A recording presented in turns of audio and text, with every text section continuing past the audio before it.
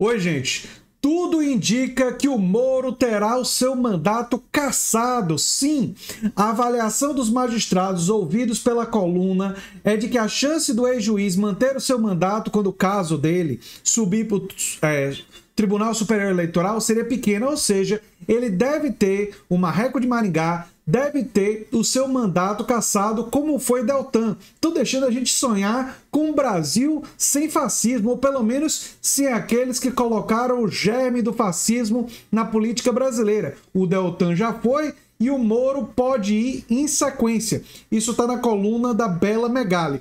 E se você estivesse perguntando do que é que ele é acusado, eu vou trazer aqui as acusações. Uma vem do PL, sim, do partido do Bolsonaro, quer dizer, o partido mais recente do Bolsonaro, né? Porque o Bolsonaro já esteve em vários partidos, né?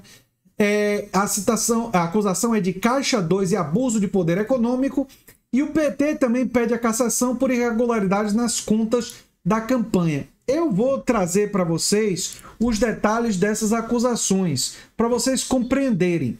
O Moro, se vocês se lembram, era pré-candidato à presidência da República pelo Podemos. Vocês lembram disso? Que o Álvaro Dias tentou ali colocar o Sérgio Moro como candidato à presidência da República, não é?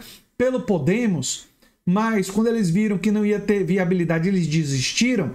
Só que durante um período da pré-campanha, o Podemos utilizou dinheiro para aumentar a visibilidade do Sérgio Moro, ou seja, investiu recursos do partido, recursos que tinha capitalizado para a campanha do Sérgio Moro à presidência. Isso aumentou a visibilidade do Sérgio Moro. Aí ele mudou de ideia, resolveu ser candidato ao Senado, só que ele não divulgou, como parte das contas da campanha, todo o dinheiro que o Podemos gastou nele na primeira parte. Ele gastou, estourou o teto, que é de 4,4 milhões. Ele contando o dinheiro que ele gastou, ou que foi gasto, para aumentar a visibilidade dele, que obviamente ajudou ele a ser eleito senador, não é? é ele estourou completamente o teto de gastos, não é? e ele ter estourado o teto é especialmente divertido, né? É, ele estourou o teto de gastos para a campanha do Senado. Se você considerar apenas os gastos dele na campanha do Senado, ele não estourou. Só que é óbvio que se a pré-campanha, a presidência foi tão próxima, ele se beneficiou dessa pré-campanha para a visibilidade dele.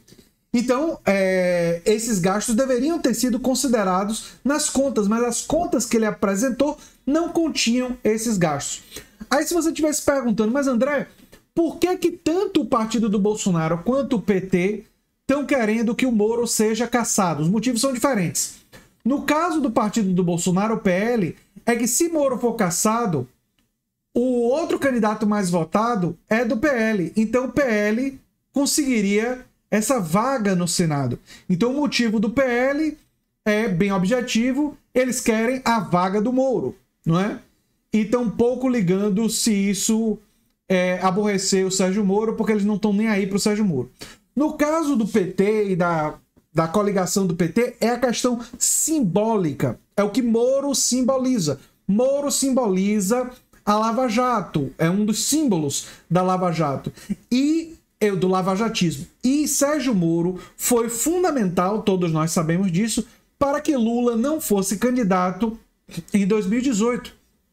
Então, caçar Sérgio Moro, inclusive com, por caixa 2, que o Sérgio Moro disse que era uma coisa assim gravíssima e que agora, como político, o Sérgio Moro tudo leva a crer, praticou esse crime de caixa 2, ele usou recursos públicos, essa é uma outra acusação, de forma irregular na pré-campanha e estourando o teto, mas também envolvendo um grupo de advogados e uma coisa muito nebulosa, não é? que pode ter uso de recursos públicos de forma completamente indevida. Nesse caso, para o PT seria extremamente simbólico e para a coligação de esquerda seria extremamente simbólico que ele perdesse o mandato acusado de uma coisa que ele utilizou para acusar os outros, não é? Para criminalizar muitas vezes a atividade política. Então teria um elemento profundamente simbólico ali. Bem, o que é que eu penso sobre isso? Seria realmente delicioso ver o fim do Marreco de Maringá. É, ele que já é ex-juiz, ex-ministro, ele se tornar ex-senador caçado por essas irregularidades, e vale a pena dizer, isso é importante que fique muito claro, a irregularidade das contas da campanha, as evidências, isso é o mais importante. As evidências são contundentes, ou seja, ele se beneficiou da pré-campanha no Podemos para a campanha no Senado e não divulgou. Então essa irregularidade, ela me parece praticamente incontestável. Ele cometeu essa irregularidade e que cabe sim ter um mandato cassado. No caso do Caixa 2 e no caso dos advogados e, enfim, um grupo muito nebuloso ali, eu não duvido que tenha coisa errada, mas nesse caso, verdade seja dita, as evidências não são tão conhecidas assim, então tem que ter o julgamento, né? Tem que ver, é, e tem que ver as provas, tem que ver as evidências. A suspeita é forte e tem indícios de Caixa 2 e de outras irregularidades envolvendo a atuação do Sérgio Moro. Na primeira acusação, a acusação do, de se beneficiar da pré-campanha, nessa daí, as provas me parecem assim irrefutáveis. Ele cometeu essa irregularidade. E agora cabe ao Tribunal Superior Eleitoral, TSE, condenar ele. Agora, vamos ser sinceros se num espaço relativamente curto a gente tiver a Deltan caçado, Sérgio Moro caçado e as vitórias recentes do Lula com a queda do dólar. Não sei se vocês viram, mas eu vou fazer um vídeo sobre isso. O PIB de quase 2%, muito superior ao que estava previsto, não é? E além de outras vitórias, nem tudo são flores, existe, tem aquele problema do, do Centrão lá no Congresso é, querendo diminuir os poderes dos ministérios, não é? Tem um risco do arcabouço fiscal ficar muito engessado e dificultar investimentos em educação e saúde. Então, nem tudo é para se comemorar, sejamos sinceros. Mas, se, junto com essas boas notícias econômicas, nós viemos ainda com a soma da cassação do Deltan, que já aconteceu, com a cassação também do Sérgio Moro, Nossa!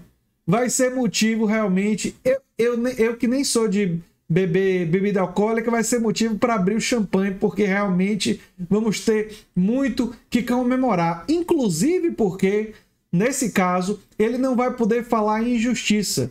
Vamos falar sim, injustiça, porque as provas da regularidade são inquestionáveis, e uma justiça até poética, porque aquele que fez tanto mal estaria finalmente sendo punido pelo mal que fez, ou pelo menos parte do mal que fez.